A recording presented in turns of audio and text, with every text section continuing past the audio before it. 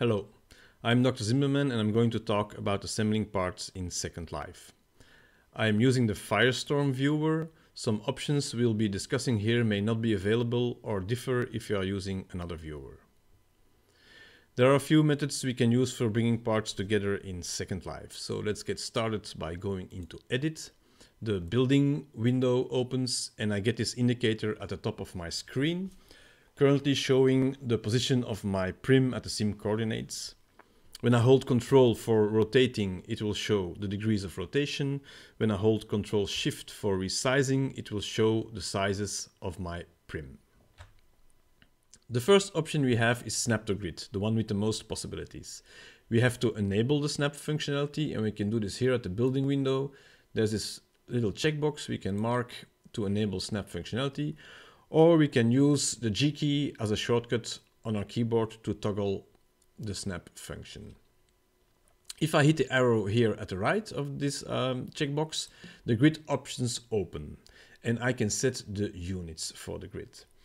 Now, to have our prims snap together, the units should be related to the dimensions of the prims we are using. More specific, the grid should be an even division of our basic prim dimension. Say we are going to build with whole meters. 1 meter, 2 meter, 3 meter, etc. will be the sizes of my prim. The basic prim dimension here is 1 meter. So these prims will match on a grid as an even division of 1 meter, being half a meter if I divide by 2, or 25 centimeter if I would divide by 4, or also if I divide by 10, a grid on, of 10 centimeters. For now I'm going to use a grid of half a meter, which is uh, divided by 2. Now, how does this work? If I grab an arrow, I can move my prim and you see the grid outline appearing. Um, currently it's not snapping because I have to move my cursor above this grid outline. So I have still have the arrow, I hold the mouse button down and I move my cursor up and now it is snapping at half a meter. And you can see this also here in the top indicator. Okay, now more handy than uh, the using the arrows, arrows are these triangle handles we have here. Those allow us to snap on two axes at the same time. The red green one for the X and Y axis being the horizontal plane. So I grab my handle and you see the grid outline appearing like this and now I can snap this prim on the horizontal plane. And this way I can very easily bring my other prims in place and you will see we have a perfect match. And so you can build with snap to grid fast and accurate. Now if I'm going to resize one of my prims and I would just do it like this, it will no longer match because the dimensions of this prim are not in relation um, with my grid size. So I, for this, um, to preserve the snap functionality, I have to snap resize. How do I do this? I take my resize handle here and I, again I move my cursor over the grid and now I can resize in steps of half meter. I'm going to two meters here and say three meters here to keep my basic dimension of whole meters and you will see this snaps to what I have. Um, now, as an example, say um, the whole meters are uh, too large for me. I want to work with half meters. So I can have this prim at two and a half and here say at one and a half. Currently, this will not uh, match because my grid I have set is uh, too large for this half meter basic dimension. Um, so I would divide half meter in two set a grid of 0.25, which still works for the prims I have, because for them it's a division by 4. Um, and now you will see all this is snapping together again. One last remark about snap to grid. The units we set here are not fixed. They may shift by camera distance. This is not really a problem for the larger grids, but certainly for the smaller ones. Say I'm going to work on a grid of 5 centimeters, 0 0.05, which I actually do a lot. That is this grid. So if I move my prim here, um, I hope you can see the top indicator. This is going up by uh, correctly 5 centimeters, 0.05 meter. But if I zoom out, say I have my camera here and I want to bring it in place now, this is not going up by 5 but by 10 centimeters, the double of my setting. If I zoom out even further, like that, now it will go up by 20 centimeters, four times what I've set. If you go check here, it's 5 centimeters. Still, when I'm snapping with my camera over here, it will snap at 20 centimeters. So remember, if you're using smaller grid sizes, zoom in close enough to get the correct grid. Okay, the next option we have is using the Align tool. I have these three prims and I want to bring them together. So I'm going to select them all and I'm going to activate the Align tool at the building window here where it says Align. And a bounding box appears around the prims involved. Notice we have double arrows at the moment. This means we are, we are in alignment mode. If I'm going to click one of these arrows, it will align all the prims towards the opposite side, like this. The result is a perfect alignment over there. With Ctrl Z, I can undo my action. Say I would hit the red one over here, it would align them like that. Now, if I hold Shift, notice the arrows change in single arrows, and this means I'm in packing mode. And this will, if I click the arrow now, push my prims against each other, like that. Or if I would do it on the other side, like that.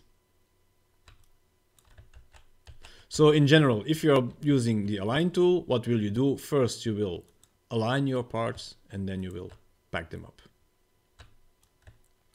Now we can use a combination of snap to grid and the align tool.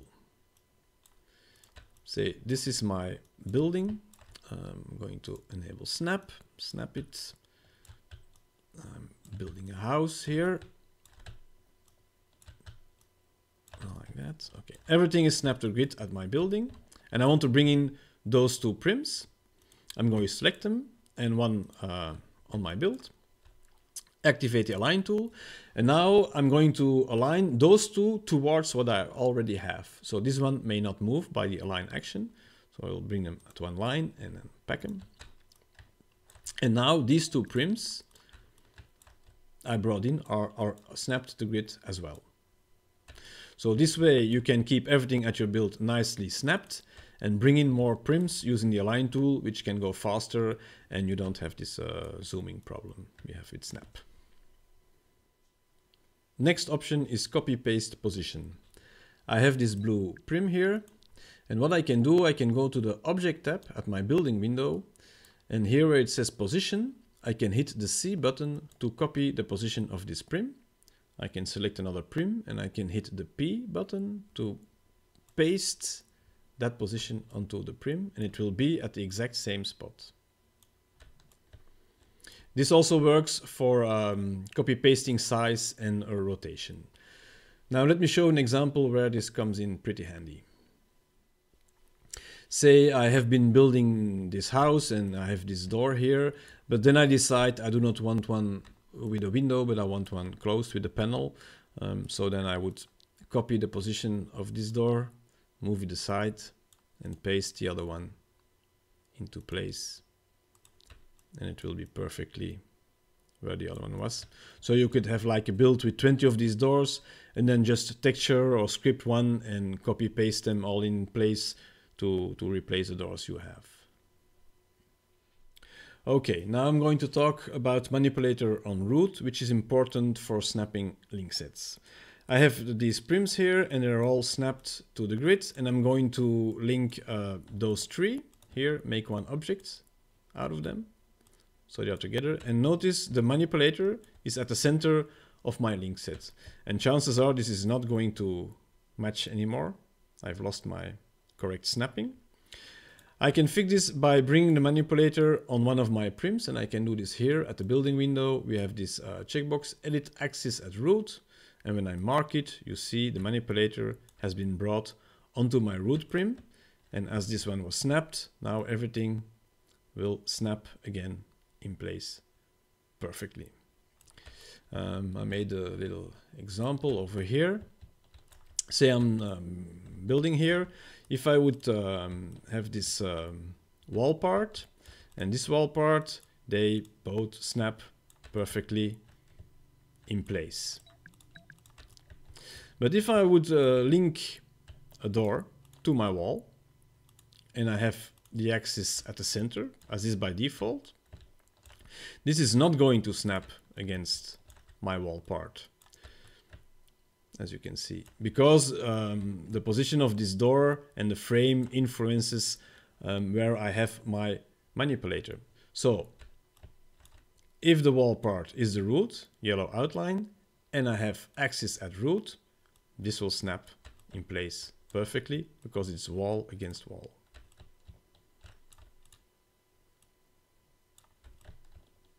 Voila. Manipulator on root is also very handy for fine-tuning parts. Say I have this garage door and I need to bring it inside the frame. Now if I would just zoom in and edit it, I can't even see the manipulator because it's uh, over there at the center of my uh, door. Um, what I could do in Firestorm is go to the preferences, the Firestorm tab and the build one tab and then I have the possibility here to um, change the position of the manipulator. Um, so I could bring it over there and then move it up. But I find this tedious and you have to set it back afterwards. So I hardly use this. What I do, I just uh, raise a regular prim and bring this one where I want to have my manipulator like that. I'm gonna resize it a bit. And I link my garage door to this prim. With the manipulator on root, I have it where I need it. And I can bring this one into position, unlink and get rid of the small prim. Now, uh, one last option we have here is um, fine tuning by numbers. Say my door is a little bit over there. Um, first, I have to look, the axis I'm going to work on is the x-axis and I have to bring it back. So I have to lower the number. Then I can zoom in. And here at the building window, um, it currently the position on the x-axis is at 0.6. So uh, let's try um, 5, 8, um, 5, uh, 5, even further, 5, 3, a little bit, uh, 5, 25. And like this, you can also bring something perfect in position. This, uh, this was it. Uh, thank you for watching, have fun building and see you in Second Life.